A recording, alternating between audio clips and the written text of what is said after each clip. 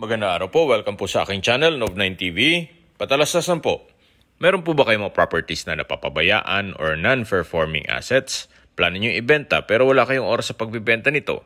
Kung ito'y pagkakatiwala nyo po sa amin, tawag lang po kayo sa aking numero, usap po tayo. Gawan ko po ng video for free. Yes, libre po. Wala po kayong babayaran. Tutulungan pa namin kayong mabenta ang inyong property. Kami na po bala sa marketing, sa boosting or paid ads, even sa tripping, hindi po kayo mapapagod sa pag-entertain ng mga buyers. Kami na po bala sa lahat. Tawag lang po kayo. Nandito po tayo ngayon sa Alfonso Cavite kung saan meron po tayong bagong video presentation, isang 1,000 square meters residential farm lot. Ito po ay along two-way cemented barangay road. Napakalapad po ng daan. Titulado, kaya wala kayong magiging problema sa documentation or sa transfer ng title. Patag na patag po ang lupa, kaya usable po lahat, wala pong masasayang. Nakikita nyo naman, napakataba ng lupa, kaya magandang taniman.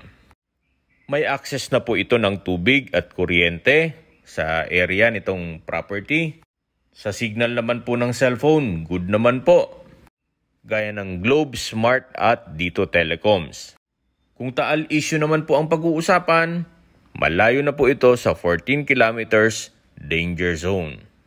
Napakatahimik po ng lugar, sariwa ang hangin, at malamig po ang klima.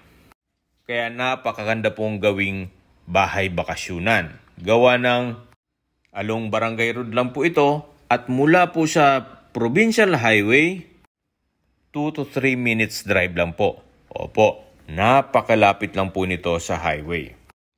Sa location, distance at travel time na po tayo. Mula po Tagaytay Rotonda, 13 kilometers, then ang travel time is 21 minutes kasama na po ang traffic. Mula naman po sa Mindes Crossing kung saan kumpleto na po doon gaya ng grocery, supermarket, convenience store, remittance center, pawn shop, drugstore, banks, at iba pang business establishments.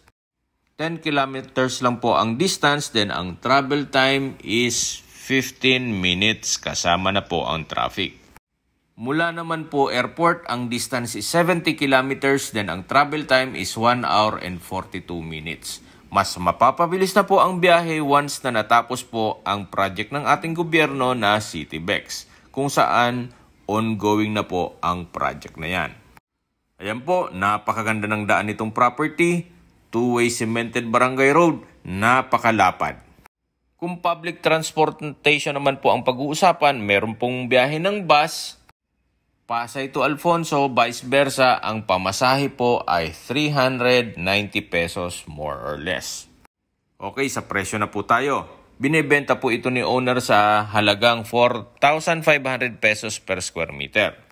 Kung may mga katanungan po kayo or gusto nyo magpaset ng tripping dito sa property na to, tawag lang po kayo sa aking numero at sa mga kababayan naman natin nasa ibang bansa. Meron po akong imo, Skype, Tango, Viber at WhatsApp. Same number lang po, 0917-316-3399. Sana po naibigan nyo ang aking video presentation. Paki-like and subscribe na lang po sa aking channel para ma-update din po kayo sa aking future listings. Sa lahat pong viewer, subscriber at nagtiwala sa amin, Salamat po sa suporta. Ingat po kayo lagi at inyong pamilya.